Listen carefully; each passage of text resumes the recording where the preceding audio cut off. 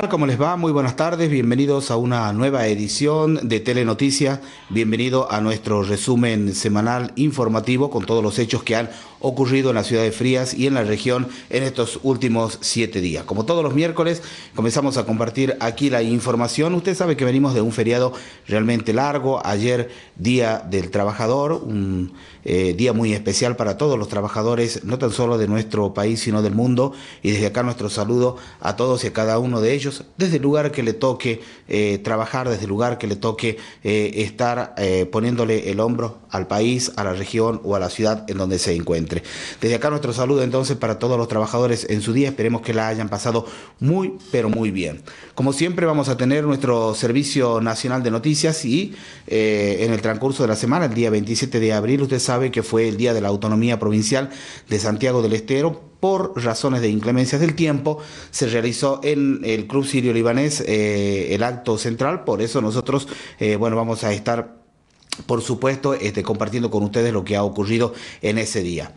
Hay un pequeño de nuestra ciudad, un joven, nueve años tiene nada más y ya está incursionando en el campo, en este caso, en el canto, perdón, en este caso eh, ha eh, obtenido un premio muy importante en la vecina provincia de Catamarca el joven se llama Facundo Liendo y viene desde ya hace algún tiempo desandando estos caminos del folclore junto a sus papás que lo apoyan permanentemente y lo incentivan para que pueda eh, convertirse en uno de los artistas que tiene la, que tiene la ciudad de Frías. Eh, estuvimos en el primer torneo interprovincial de Pato, algo muy novedoso para nuestra ciudad. Estuvimos también en una nueva fecha del torneo provincial del rugby que se jugó el fin de semana en la ciudad de Frías y y bueno, por supuesto, estuvimos compartiendo, hoy vamos a estar compartiendo con ustedes el sueño de los frienses. El sueño de los frienses es eh, encabezado por José Luis Piveta, quien está peregrinando rumbo a Buenos Aires para eh, conseguir para el Hospital Zonal de Frías una sala de hemodiálisis que se incluya en los sueños, eh, en el programa de Marcelo Tinelli, precisamente el sueño de la ciudad de Frías. Y el Colorado Piveta ya llegó, llegó a Ideas del Sur, llegó al programa de la cocina del show que se emite por Canal 13 en vivo los días sábados. Estuvimos eh, todos los frienses atentos a la llegada precisamente del Colorado Piveta y bueno, vamos a compartir con ustedes ese momento en el cual eh, Mariano Yudica lo hace pasar al programa y hablan del sueño precisamente de Frías y de los santiagueños. Vamos a empezar a desarrollar la información, si le parece bien, como siempre, usted nos puede encontrar en nuestras páginas de Facebook, allí va a encontrar toda la información, en las páginas de YouTube también va a encontrar todo nuestro servicio informativo. Ahora nos vamos a trasladar a nivel nacional a través de la agencia argentina en noticias para saber qué es lo que pasaba en nuestro país.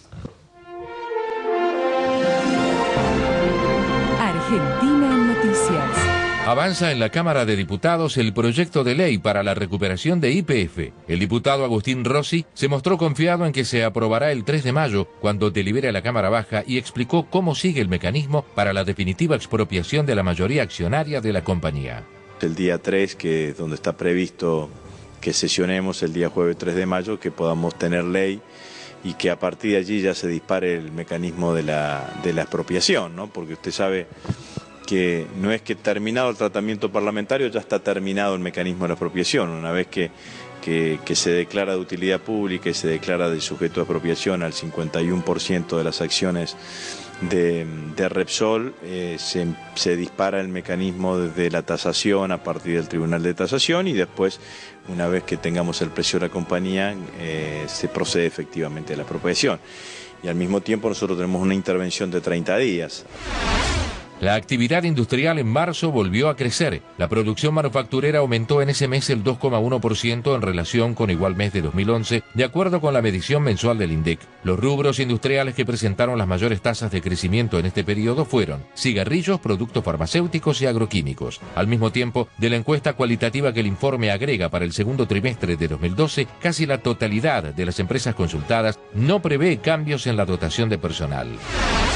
Asindar anunció más inversiones y aumento de las exportaciones para este año. Las máximas autoridades de la empresa confirmaron que en el 2012 se invertirán 30 millones de dólares, se incrementará la producción en un 6% y se concretarán ventas al exterior por 70 millones de dólares. Asimismo, confirmaron que solo para la industria automotriz este año proveerán el doble de aceros especiales que en el 2011 y se logrará sustituir importaciones por más de 100 millones de dólares. Argentina en Noticias. Panorama informativo de argentina.ar.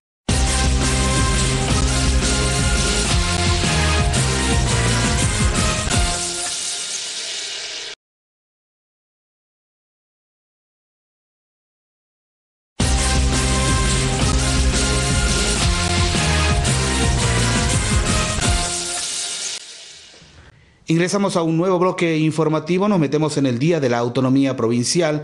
Hace 192 años aproximadamente un grupo de santiagueños decretaba la libertad del Estado provincial, la autonomía del Estado provincial, nos separábamos de la provincia de Tucumán y nos eh, declarábamos como una provincia autónoma y federal.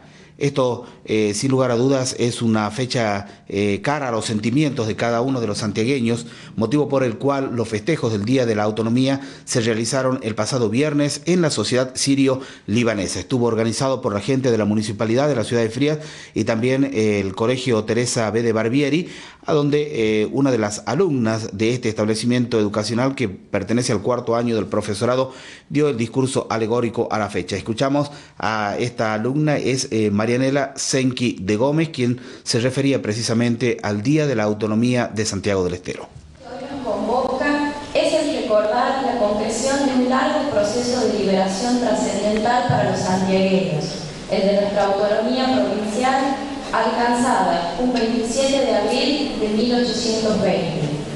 Tras un extenso devenir histórico que se fue gestando cronológicamente con anterioridad a la Revolución de Mayo de 1810, la provincia comienza a manifestar sus ideales libertarios y de independencia. Este proceso constituye una instancia crucial. La firma del Acta de la Autonomía Provincial, por la cual Santiago del Estero deja de pertenecer a la gobernación de Tucumán, y un segundo cabildo sintetizan el nuevo nacimiento de nuestra provincia. Ahora bien, ¿por qué en tiempos como los que nos toca vivir, es indiscutible la importancia de reivindicar estos ideales, porque la autonomía, la independencia, se conquistan de una vez y para siempre. Son un magnífico tesoro que se acrecienta con el hermoso ejercicio de la libertad y se diluye cuando los hombres dejan de ser dignos de merecerlo al olvidar aquellos ideales que sirven de estandarte sus acciones. Todo cambio, por más utópico que parezca, reclama una sociedad fortalecida en valores. Hombres y mujeres dispuestos a alcanzar sus metas con honradez, valentía, seguridad, con la verdad, la memoria y la justicia como pilares, para no repetir aquello que tanto daño nos causó y aprender de esas heridas para poder crecer en libertad. Seguramente aquellos hombres de 1820 tuvieron la entrañable visión de captar en su suelo esos valores y se animaron a esa utópica empresa de declarar su autonomía, sabiendo que los espíritus santiagueños latía la firme voluntad de empezar a transitar el camino de la independencia. Que estos hechos históricos nos sirvan de ejemplo. Hoy, a 192 años de la declaración de nuestra autonomía, Santiago del Estero sigue siendo una provincia firme en sus objetivos, arraigada en su tradición y cultura, trabajando día a día por trascender, venciendo las adversidades e iluminando el horizonte de su pueblo. Busquemos en las huellas que quedaron de aquel proceso autonómico la forma de sostener este presente santiagueño para que podamos seguir repitiendo con orgullo los versos de algún inspirado poeta. ¿De dónde viene el ritmo que te mece y te nombra? Porque el ritmo es tu nombre, tu andar y tu presencia. No nace de los mares, tampoco de las olas. no vino en los veleros detrás de carabelas. ¿Acaso lo aprendieron del viento entre las coplas? De tu historia de héroes, que está siempre grabada. Porque ritmo es tu nombre, Santiago del Estero, entonado con eses de algún ser guitarrero. Porque ritmo es tu nombre, Santiago del Estero, mi pueblo, mi latín, la tierra que venero. Muchas gracias. Muy bien, continuando con el Día de la Autonomía, precisamente en ese mismo acto, como ocurre eh, cada 27 de abril, los alumnos de séptimo grado de los distintos establecimientos educacionales del medio hicieron su promesa de lealtad a la bandera, promesa que fue tomado el juramento a través de la presidenta del Consejo eh, Deliberante, eh, la doctora Rosana Malini, quien estuvo a cargo del Ejecutivo Municipal, ya que el intendente se encontraba precisamente en los festejos del Día de la Autonomía en Santiago del Estero junto al gobernador de la provincia. Este era eh, el mensaje que se leía precisamente ese día. Toma de juramento de lealtad a la bandera provincial para los alumnos de séptimo grado de todos los establecimientos educacionales de nuestra ciudad. Ahora sí, jóvenes alumnos, prometéis ante esta nueva bandera que consuma el milagro, compendiar toda gloria vieja de esta provincia en cuya capital nació la patria. Ante esta bandera provincial que se iza para la veneración de los santiagueños, para enaltar su historia con la historia bautismal de la nación, cuyo paño rememora la sangre de la raza nativa, patentizada en el sol dorado, que exalta la gloria del Inca y que conjuga esta con el sacrificio del conquistador hispano, que nos legó su cultura y que sentó sus reales en esta tierra bendita, con la espada y con la cruz, para forjar una identidad propia que nos distingue. Ante esta bandera, que es honra y compromiso, que es testimonio y juramento, que recuerda el martirologio de Juan Francisco Borges y evoca la figura del prócer de don Juan Felipe Ibarra, quien expresara cuando reclutó su ejército para defender la autonomía y el federalismo argentino, cada santiagueño es una lanza cada santiagueño es un baluarte para defenderla y preservarla. Por ello, jóvenes estudiantes, prometéis servir con lealtad y patriotismo a tu provincia y a tu pueblo, aún, al propio precio de tu tranquilidad y sosiego, dedicado a engrandecer con el trabajo y el estudio, sin pedir nada a cambio. ¡Sí,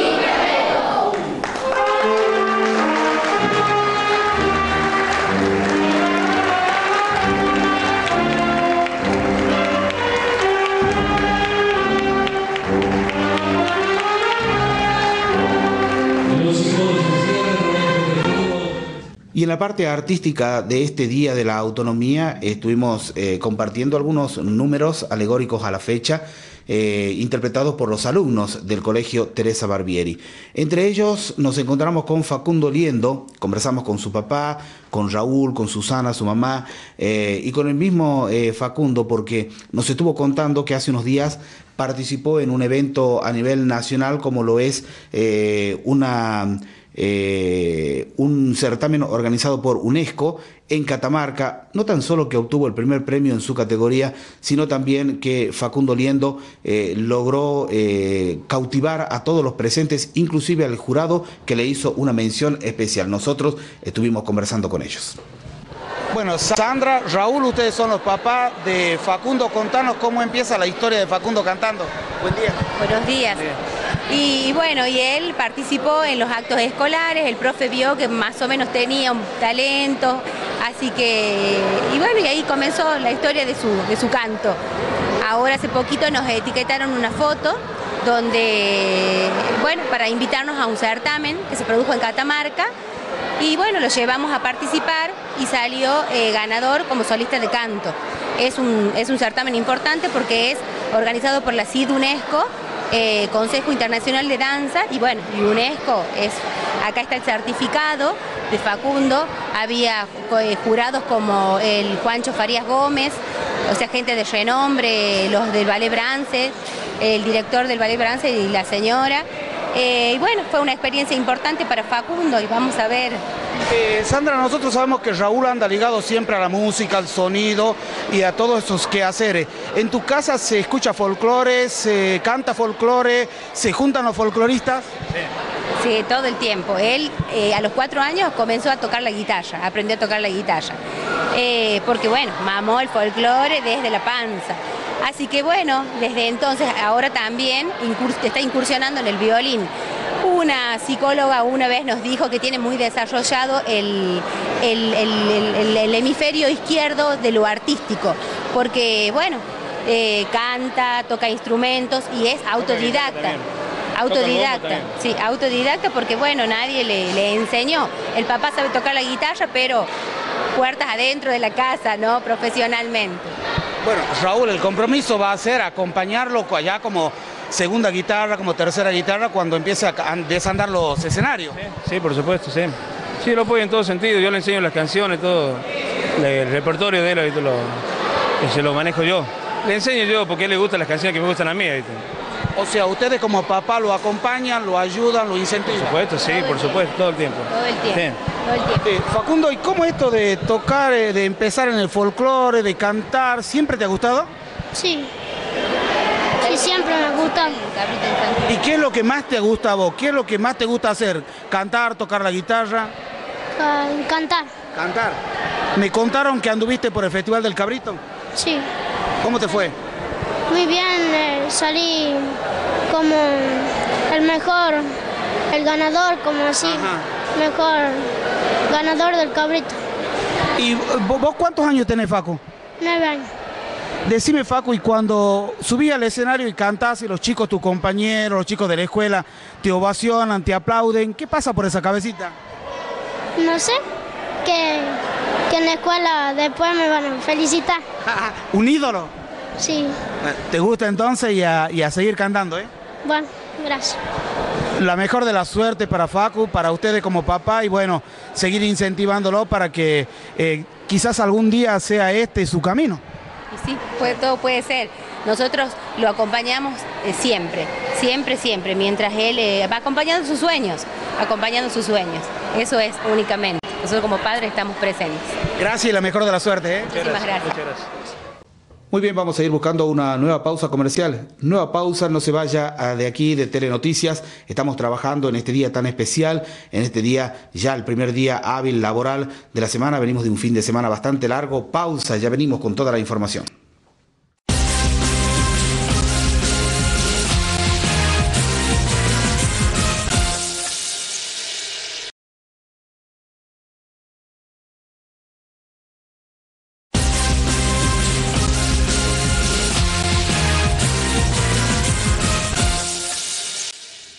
Bien, continuamos con la información. Ahora sí nos metemos en el capítulo del deporte. En este caso nos vamos a meter con el primer torneo interprovincial de pato. Usted sabe que el pato es el deporte nacional de los argentinos y por primera vez se ha realizado un evento de esta naturaleza organizado por la Asociación Amigos del Pato, donde participaron equipos de Córdoba, de Tucumán, Santiago del Estero y los representantes de la ciudad de Frías. Esto se realizó en un campo eh, denominado eh, El Talar, que está frente del Parque Industrial a 5 kilómetros al norte de la ciudad de Frías.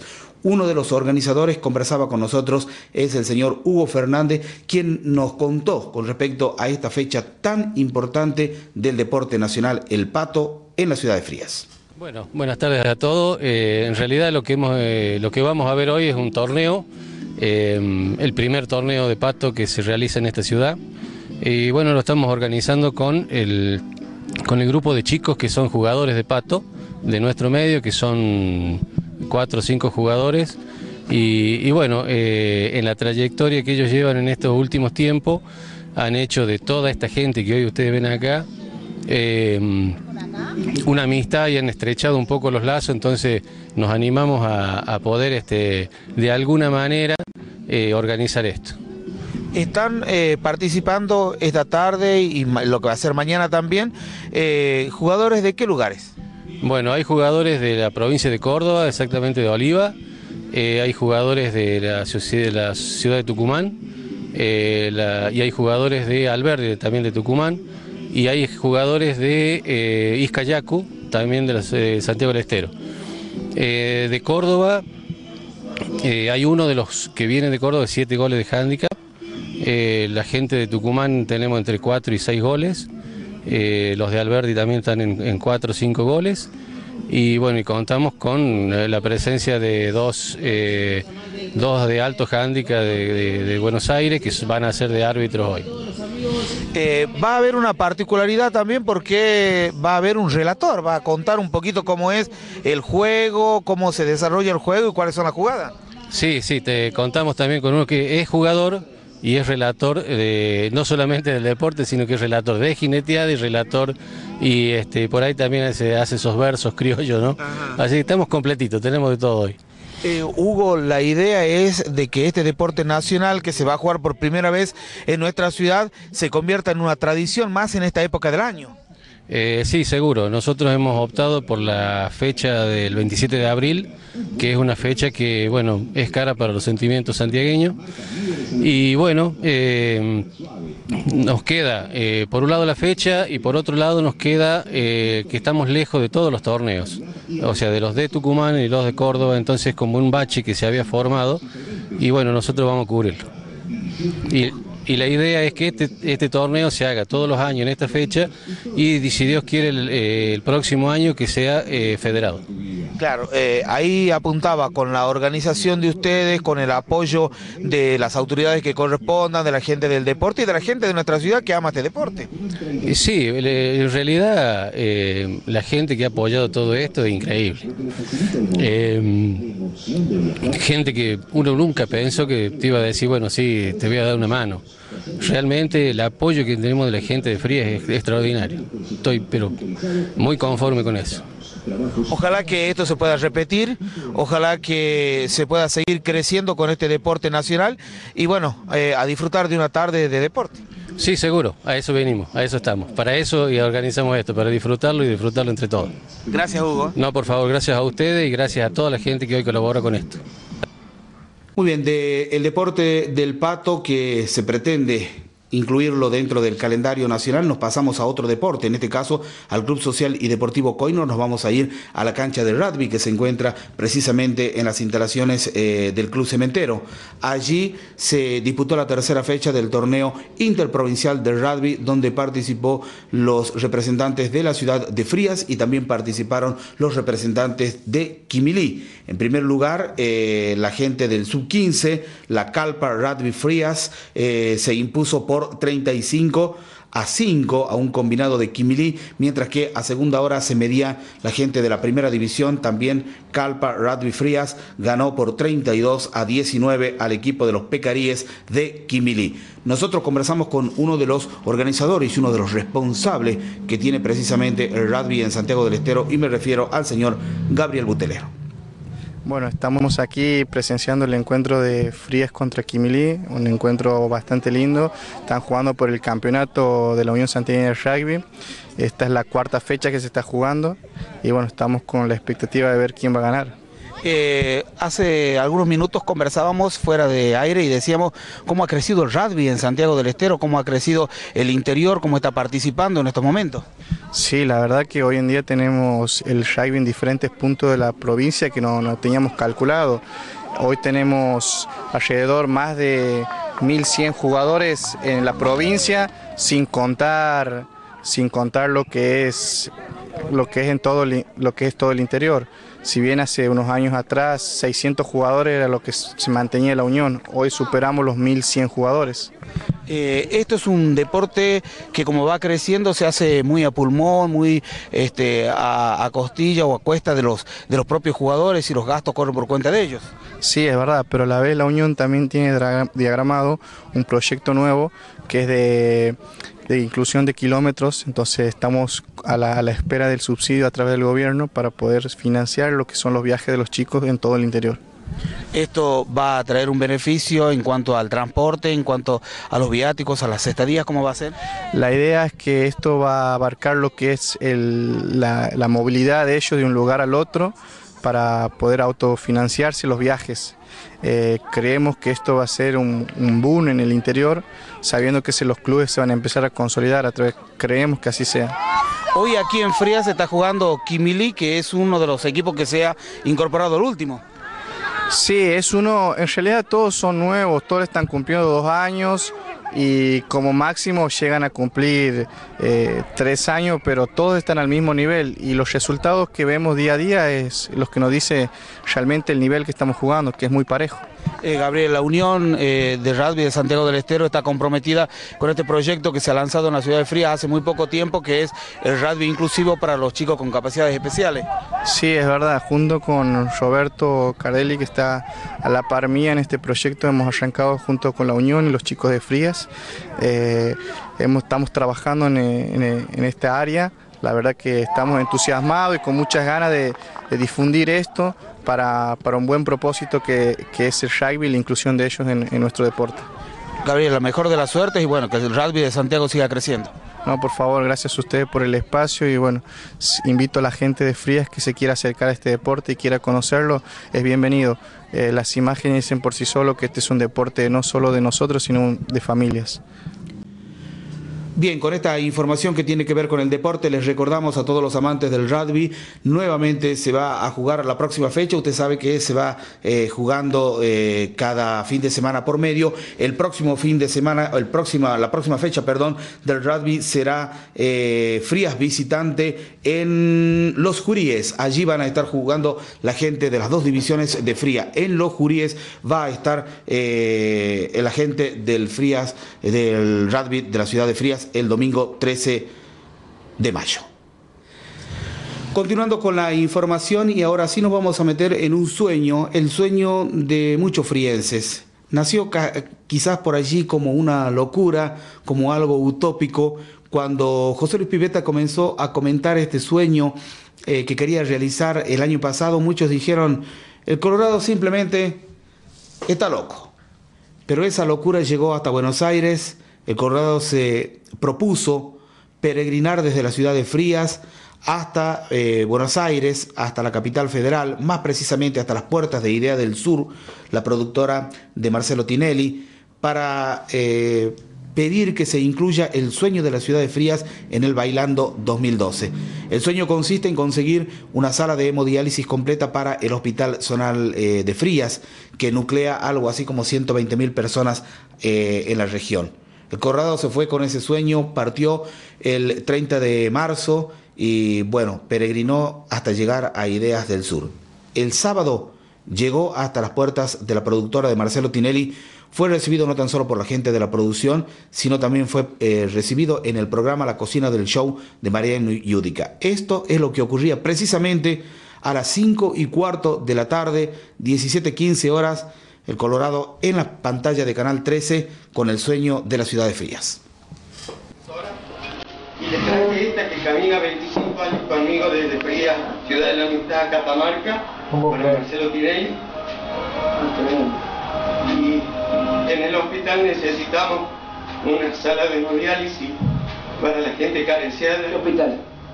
Frías, de, de Frías, Ciudad de la Amistad. No pueden hablar. Y bueno, me largué hace 30 días que vengo caminando, hoy llegué, esta mi mamá, mi papá, la perdí a mi mamá hace muy poco, hace... ¿Estás esta movida para, para tu hospital de, tu ciudad?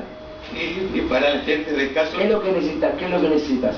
Que Frías participe con el sueño, en el bailando, para el hospital de Frías. ¿Estás Fede? ¿Ah, sí? ¿Bien? Perfecto.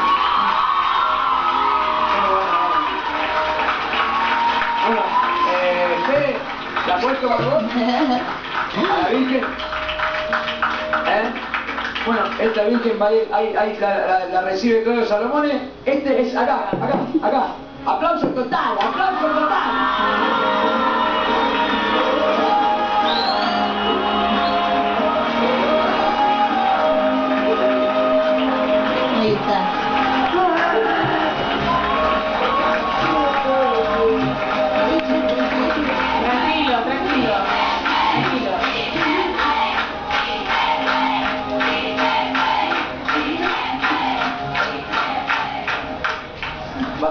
¿Sabes? Va a suceder, lo lograste, lo lograste, lo lograste.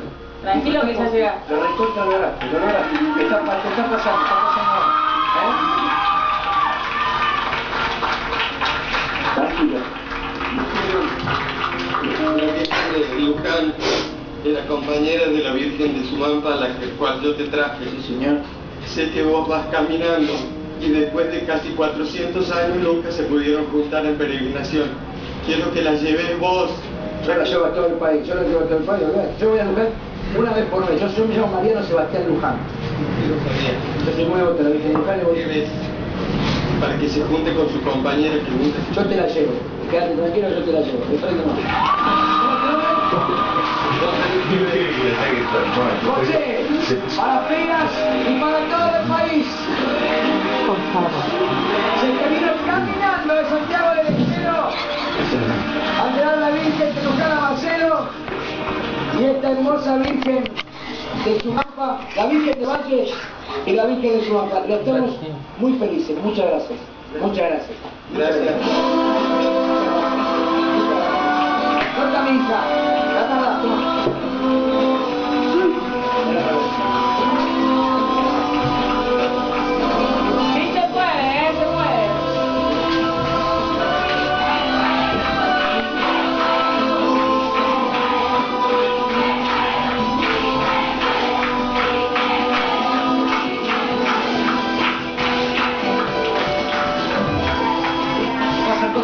Muy, grosas, están, están pasando cosas, están pasando cosas muy potentes.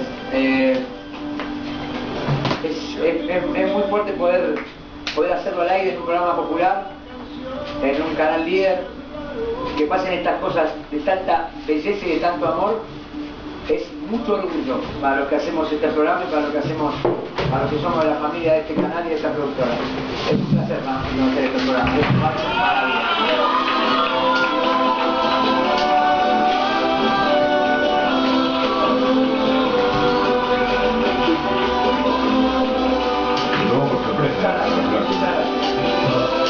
Bueno, para ponerle la frutilla esto, Bien, esta precisamente era la llegada de José Luis Piveta, este loco santiagueño, friense, que se fue peregrinando hasta eh, Ideas del Sur.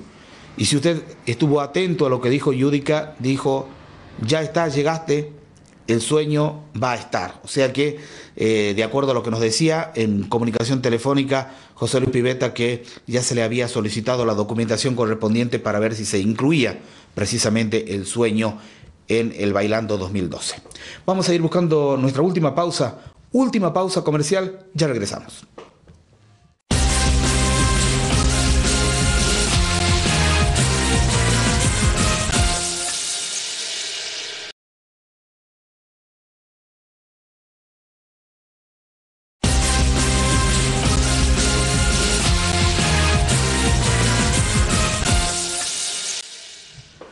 Muy bien, último bloque informativo, nos estamos eh, despidiendo, por supuesto, usted está esperando para saber cómo va a estar el clima en nuestra ciudad y en toda la región.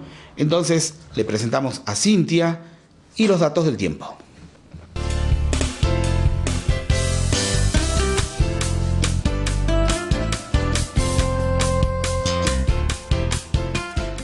Hola, ¿qué tal? ¿Cómo le va? Le cuento que continúa frío el tiempo este fin de semana con heladas generalizadas en la llanura pampeana y en la zona central, pero con una ligera tendencia a mejorar a partir del mediodía de este sábado. Para el sur del litoral y en la provincia de Córdoba, el cielo estará parcialmente nublado a cubierto con mínimas de entre 5 y 7 grados y máximas que irán desde los 13 a los 17 grados. Se esperan algunas precipitaciones para la costa atlántica y también en la provincia de La Pampa. Las mínimas irán de 1 grado bajo 0 a 9 grados y tendremos máximas de entre 12, 14 y 16 grados. Para las provincias de Cuyo y la precordillera el cielo estará cubierto, el tiempo será inestable, bastante frío durante las primeras horas con neblinas matinales. Las mínimas estarán entre los 13 y los 7 grados con máximas de entre 9 y 16 grados. También se esperan algunas lloviznas para Salta y Jujuy con valores de entre 8 y 13 grados.